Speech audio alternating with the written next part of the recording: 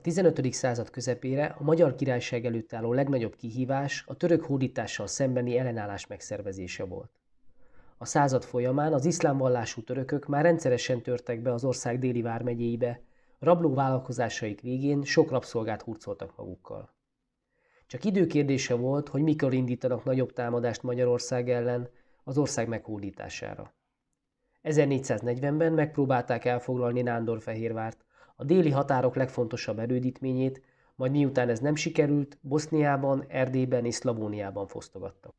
A török ellenes védelmi harcokban tűnt fel a nemesek között a Havasalföldről származó Hunyadi János, akit a sikeres katonai pályafutása előbb a legelőkelőbb urak a bárók sorába, majd kormányzóként a Magyar Királyság élére emelt.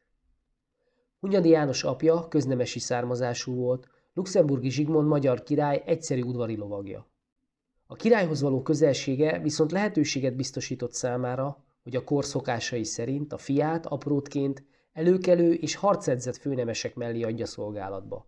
A fiatal Hunyadi János megfordult a székelyek ispánja, a szerb despota udvarában, és a déli vármegyéket igazgató és a török elleni védekezést irányító itáliai zsoldosvezér Ozorai Pippó mellett is. Fiatal felnőttként már apjához hasonlóan Zsigmond király udvari lovagja lett, és az uralkodót elkísérve többször járt külföldön. Megfordult Itáliában és a huszita háborúk miatt zavargó Cseh királyságban is. Ezeken a helyeken értékes katonai tapasztalatokkal gazdagodott, és látóköre is szélesebbé vált.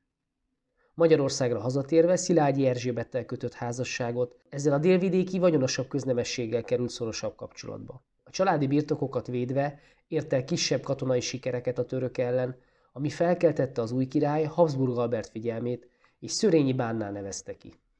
Hunyadi ezzel került be az ország elitjébe, a félszáz báró egyike lett. A váratlanul elhunyt Albert halálát követő trónharcokba a lengyel-magyar personálunió ötletét támogató párt oldalára állt, és Jagelló Ulászló lengyel királyt segítette a győzelemre a kibontakozó belháborúban. Ulászló hálából erdélyi vajdává és temesi ispánnál nevezte ki. Az ország délkeleti határszakaszának védelme ezzel lényegében Hunyadi János kezébe került, akinek egyre gyarapodó birtokai is ezen a vidéken terültek el. Ezeknek a birtokoknak a jövedelméből kezdte építetni a rangjához illő Vajda-Hunyadi lovagvárat, amely a késő gótikus magyar várépítészet sajátosságait mutatja. Érdekesség, hogy 1896-ban a milleniumi ünnepség okán elkészítették a Vajdahunyadi vár másolatát Budapesten a Városligetben. A vár a Magyar Mezőgazdasági Múzeumnak ad otthont, és a mai napig látogatható.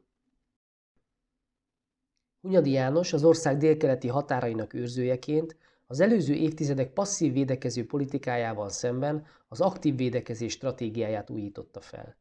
Többször vezetett támadó hadjáratot az ország határain túlra az oszmán birodalom európai területei ellen. Az ellenség számbeli fölényét a szervezettséggel, a megfelelően alkalmazott taktikával és a meglepetés erejével tudta ellensúlyozni. Elképzelése szerint az aktív védekezés lényege az volt, hogy az ellenséget távol kell tartani a határoktól, és saját területén kell gyengíteni. Végső célként a török Európába való kívzését határozta meg. Elgondolása találkozott a lelkes és mélyen vallásos király Ulászló céljaival, aki országait, a magyar és a lengyel királyságot a keresztény hit védőpajzsainak tekintette. Hunyadinak három jelentősebb katonai vállalkozása volt, az úgynevezett hosszú vagy téli hadjárat 1443 végén, a pápai kezdeményezése megvalósult 1444-es keresztes háború és a balkáni népek összefogását célul kitűző 1448-as támadás. Az 1443-as hadjárat fő célja a török főváros Drinápoly elfoglalása volt.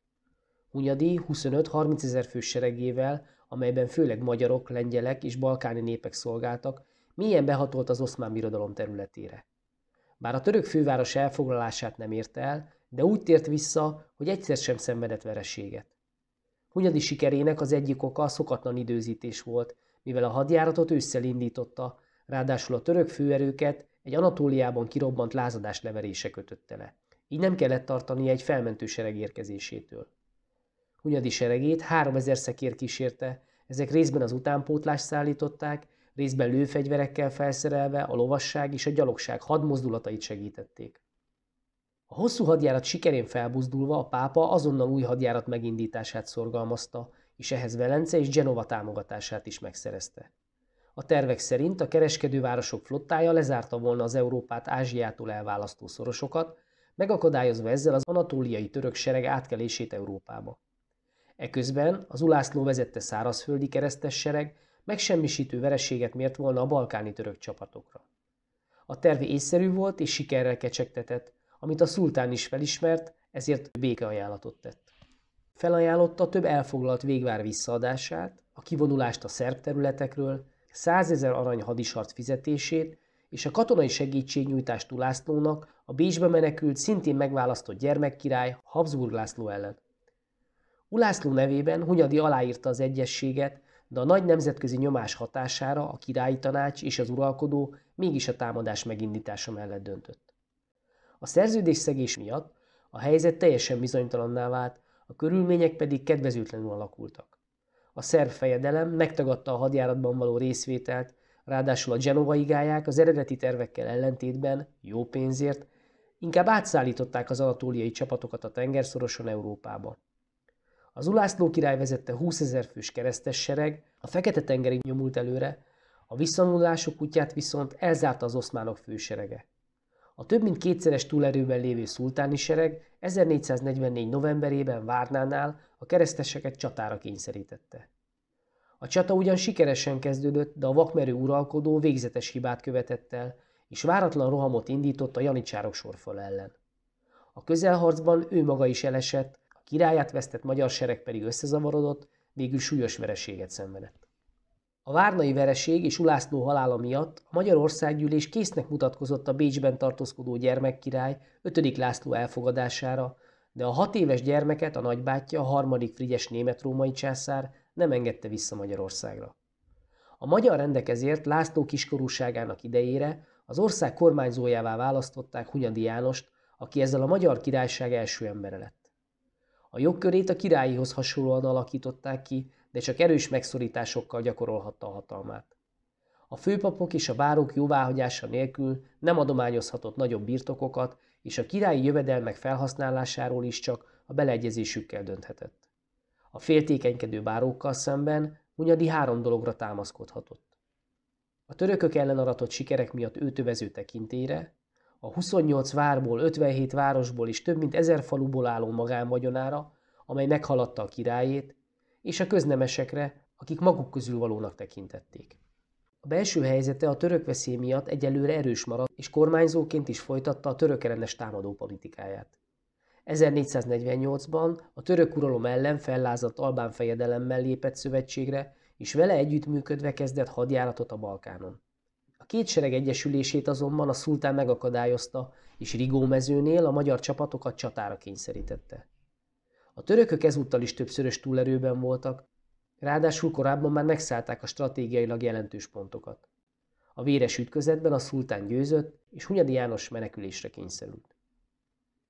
A vereség megrendítette a kormányzó helyzetét, és a Cillei úrik vezette bárói csoport ezt igyekezett is kihasználni. 1452-ben visszahozták az országba 5. Lászlót, ezzel megszűnt Hunyadi kormányzósága, befolyása és hatalma azonban még megmaradt. A magyar belpolitikai viszonyokat egyre inkább a Hunyadi és a Cillei család és támogatóik szembenállása határozta meg. A rigómezei vereség és a kiújuló belső visszályok miatt a magyar támadó politika abba maradt, ami a törökök hódító szándékainak kedvezett. 1451-ben kezdődött az ambíciózus 19 éves második Mehmed szultánsága, aki szinte azonnal belekezdett világhódító terveinek megvalósításába. 1453-ban 50 nap alatt elfoglalta a bevehetetlennek tartott Konstantinápolyt, ezzel az egykor hatalmas bizánci birodalom megszűnt létezni. Elesett egy főváros, és született egy új. Második Mehmed áthelyeztette székhelyét Drinápolyból Konstantinápolyba, amely később az Isztambul nevet kapta. Az Ája Szófiát mecsetté alakították, a császári palotában a szultán rendezkedett be. Az oszmán birodalom következő célpontja Magyarország és az ország déli végvárrendszerének a kulcsa Nándorfehérvár volt. A várostromát 1456. júliusában kezdte meg a 70 ezer fős szultáni sereg. A Duna és a Száva találkozásánál épült kulcsfontosságú várat Hunyadi János sógora Szilágyi Mihály védelmezte 5-7 ezer fős őrséggel. A szultán támadása két embert ösztönzött Magyarországon azonnali cselekvésre. Hunyadi János saját költségén tízezer fős hadsereget állított ki, egy Ferences szerzetes, Giovanni da Capistrano pedig a pápa felhatalmazásával több ezres keresztes hadat toborzott a környéken élő, közvetlen veszélyben lévő jobbágyok közül. Mehmed szultán szerette volna elkerülni a nagy embervesztességet, ezért csak egyetlen mindent elsőprő rohamot tervezett. A várat ezért előbb körülzárta, hogy a védőket kiéheztesse, közben pedig ágyúival a falakat folyamatosan lövette. Azokat szinte teljesen lerombolta. A török ostromgyűrűt Hunyadinak a Dunán vívott csatában sikerült áttörnie, és csatlakozni tudott a vár addigra megtizedelt védőihez. Mehmed szultán július 21-én adta ki a parancsot a döntő roham megindítására, ahol a törökök egészen a fellegvárig jutottak. A több órás, éjszakában nyúló élethalál harcban végül mégis a keresztények kerekedtek felül, hajnalra sikerült az utolsó törököt is kiszorítani a városból. Hunyadi a győzelem után sem érezte seregét elég erősnek, hogy megtámadja a szultán táborát, ezért szigorúan megtiltotta katonáinak, hogy engedély nélkül rácsapjanak a törökre. Ennek ellenére a várból kiszivárgó fanatizált keresztesek spontán akcióba kezdtek, ami váratlan sikert hozott. A rosszul reagáló törökök hibáját Hunyadi kihasználta, és gyors rohammal elfoglalta a török ágyukat, majd azokkal kezdték el lőni az ellenséget.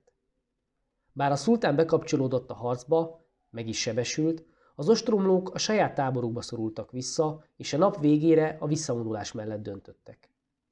Nem sokkal a törökök visszavonulása után a magyar táborban pestis járvány tört ki, amelynek Hunyadi és Kapisztránó is áldozatul esett. Remélem érthető volt és segített ez az összefoglaló. A videó leírásában extra gyakorlási lehetőséget is találsz az érettségéhez.